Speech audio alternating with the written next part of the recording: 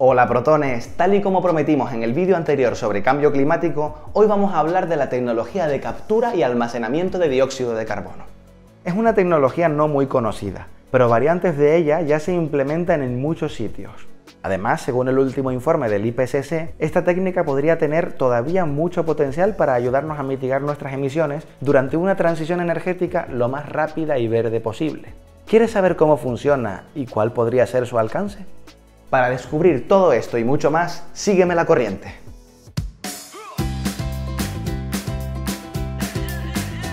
Sígueme, la corriente, sígueme, electrón con electrón.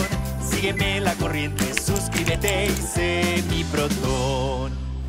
Sabemos desde hace ya muchos años que los seres humanos debemos reducir drásticamente nuestras emisiones de dióxido de carbono a la atmósfera. Es una situación que muchos denominan emergencia climática y que la comunidad científica ya ha producido innumerables estudios de muy diversa índole sobre los efectos que esta emisión continua de CO2 están teniendo sobre nuestro ecosistema global. Pues si hay una emergencia, lo suyo es solucionarla cuanto antes, ¿no? Así es, Dinamo. Me alegro de que compartas esa determinación.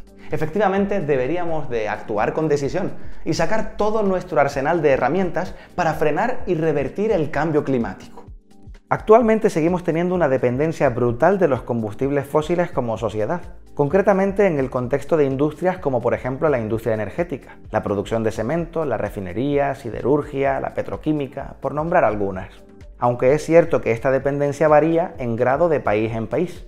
Así, mientras los países más desarrollados tienen la capacidad, cada día, de optar por alternativas de cero emisiones, muchos otros países en vías de desarrollo, por ejemplo, siguen dependiendo fuertemente de una industria muy sostenida por la quema de combustibles fósiles. En este contexto, la captura y almacenamiento de CO2 aplicado a estas industrias contaminantes podría ser una herramienta muy útil de cara a acelerar la tan necesaria conversión energético-tecnológica, concretamente a modo de medida paliativa. En el vídeo sobre cambio climático, que pueden encontrar en el canal, citábamos a los expertos que trabajan para el IPCC, el panel intergubernamental sobre el cambio climático, cuando indicaban la necesidad de aplicar esta técnica en el contexto de un proceso de cambio mayor, con otras medidas de reducción y emisiones complementarias y con el objetivo en mente de una transición energética y un punto final a las emisiones de dióxido de carbono. En ningún caso deberíamos tomar la técnica de captura y almacenamiento de carbono como algo más que un parche temporal sobre un problema que necesita de una acción mucho más amplia y profunda. Amén, hermana. Sin embargo, también dejábamos clara su utilidad, resaltando algunos puntos fuertes, como por ejemplo su compatibilidad con las infraestructuras energéticas existentes. Si aún no has visto ese vídeo, pause. Te dejo el link al vídeo por aquí arriba y en la descripción del vídeo, para que puedas ponerte bien al día y luego continuar. Ahora sí, vamos a conocer más en profundidad a esta tecnología desconocida. ¿No, Dynamo? Sí, sí, al lío. ¿Qué es la técnica de captación y almacenamiento de CO2? Pues consiste en la separación del dióxido de carbono emitido por nuestra actividad industrial y energética, el transporte de ese gas separado a un lugar de almacenamiento y su aislamiento de la atmósfera durante largos periodos de tiempo. Esta tecnología se podría aplicar sobre las grandes fuentes puntuales de CO2, por ejemplo las centrales de combustibles fósiles o de energía de la biomasa de grandes dimensiones, la producción de gas natural, las plantas de combustible sintético o las plantas de producción de hidrógeno alimentadas por combustibles fósiles. Oh, vaya. ¿Entonces no puede aplicarse en el transporte? ¿En los coches, los aviones? Me temo que no. Su aplicación principal sería en plantas energéticas. Pero Dynamo, esta tecnología podría reducir las emisiones de dióxido de carbono de una planta a la atmósfera en una proporción del 80 al 90%, en comparación con la misma planta sin captura y almacenamiento de carbono. Y esto son muy buenas noticias. Uy, pues sí, ciertamente. ¿Y cómo es posible eso? Venga, vamos a ver cómo funciona. En lo referente a la captación del dióxido de carbono, existen tres posibilidades. Su captación posterior a la combustión, previa a la combustión y por combustión de oxígeno-gas. Empecemos por la captación de gas posterior a la combustión. En este caso, la separación posterior a la combustión se aplica ya en la industria de refinamiento de gas natural, con una tecnología muy similar, y funciona en un mercado maduro. En este caso se extrae el dióxido de carbono del flujo de gases de escape después de la combustión. La siguiente posibilidad es la captación previa a la combustión. La tecnología requerida para captar previamente a la combustión se aplica de forma generalizada a la fabricación de fertilizantes y a la producción de hidrógeno, por ejemplo. La separación se realiza por la conversión del gas natural en hidrógeno y dióxido de carbono, descarbonización. El dióxido de carbono se comprime para su almacenamiento, mientras que el hidrógeno se mezcla con aire para realizar la combustión. Esto significa que los productos son solamente nitrógeno y agua.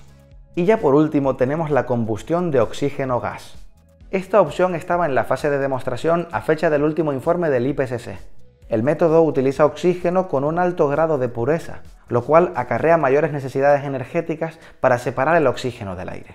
Durante este proceso, el oxígeno que se ha separado del aire se quema con los hidrocarburos, lo que produce unos gases de escape con alta concentración de CO2 y agua como subproducto. ¿Y cómo sabes qué opción es mejor? Cada opción tiene sus ventajas y desventajas, y tendrá más sentido en unas plantas u otras. Todas ellas, eso sí, requieren de la compresión del CO2 obtenido para su posterior transporte. Una vez comprimido el dióxido de carbono, se podría transportar por diversos métodos ya existentes. En la actualidad tenemos una amplia infraestructura ya instalada para el transporte y distribución de los combustibles fósiles, debido a nuestro desarrollo industrial en torno a los hidrocarburos. Por ejemplo, en la actualidad, los gasoductos serían preferibles para el transporte de grandes cantidades de dióxido de carbono, a distancias de hasta 1000 kilómetros. Para distancias más largas, en ultramar, el uso de buques cuando proceda podría ser el más atractivo desde el punto de vista económico. Sin embargo, todas estas opciones continúan teniendo un impacto y riesgo sobre nuestro ecosistema, que es ya bastante conocido y considerable. En cuanto a la última fase del proceso, el almacenamiento del dióxido de carbono, existen dos principales posibilidades a día de hoy, el almacenamiento geológico y el almacenamiento oceánico. Ambas presentan dificultades considerables y ninguna está exenta del consiguiente impacto ecológico, por supuesto. Toda actividad humana acaba teniendo un impacto, mayor o menor. En el caso del almacenamiento geológico tenemos tres localizaciones posibles, yacimientos de petróleo y gas, formaciones salinas profundas y capas de carbón inexplotables. Para poder guardar en ellas el dióxido de carbono, este se inyecta en forma condensada en una formación rocosa subterránea, que tiene que tener suficiente permeabilidad. Es por ello que los antiguos yacimientos de petróleo y gas que ya no se explotan son candidatos bastante buenos, porque ya han albergado fluidos anteriormente.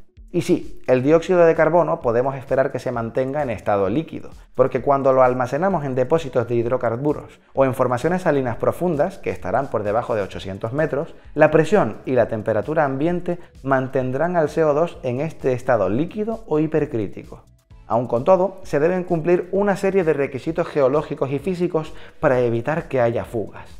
Además, tanto para el almacenamiento geológico como para el almacenamiento oceánico, debe existir una estrategia general de gestión de riesgos, por la cual se lleven a cabo tanto el diseño como el emplazamiento del sistema de almacenamiento de forma minuciosa, junto con métodos para la pronta detección de fugas.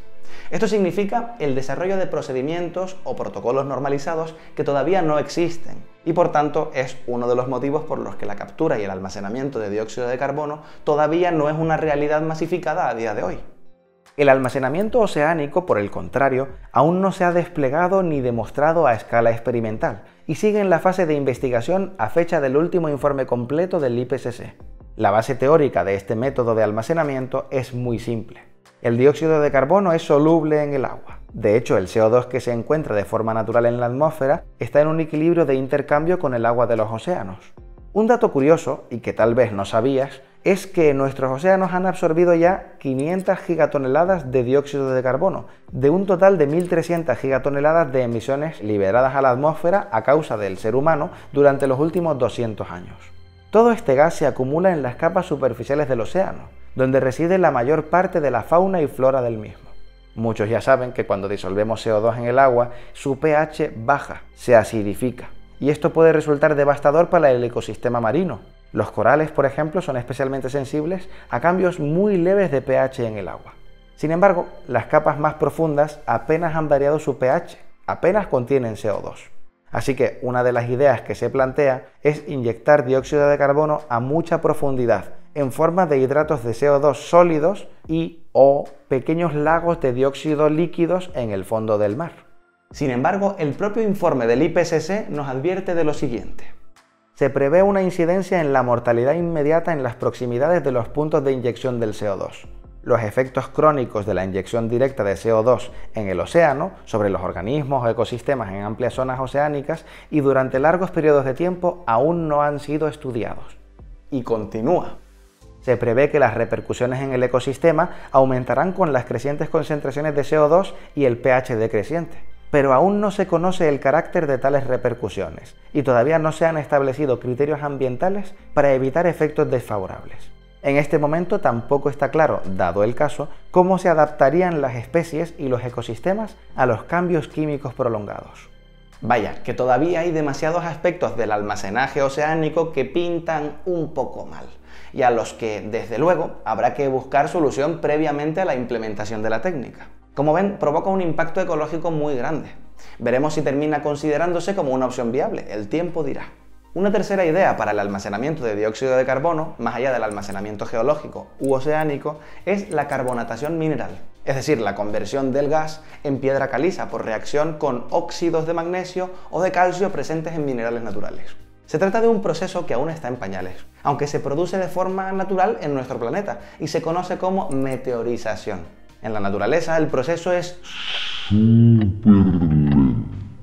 por lo que debe ser acelerado para que pueda ser implementado como opción de almacenamiento. Por tanto, las investigaciones actuales se centran en intentar acelerar estas reacciones. Y con todo esto ya hemos visto cómo funciona y cuáles son las distintas partes de esta técnica de captura y almacenamiento de carbono. Hasta aquí llega el vídeo de hoy sobre captura y almacenamiento de dióxido de carbono. Deja en comentarios qué te ha parecido esta técnica y si la conocías desde antes o no. También te propongo que te aventures a hipotetizar qué ocurrirá en el futuro con su implementación. ¿Crees que será factible que se despliegue completamente?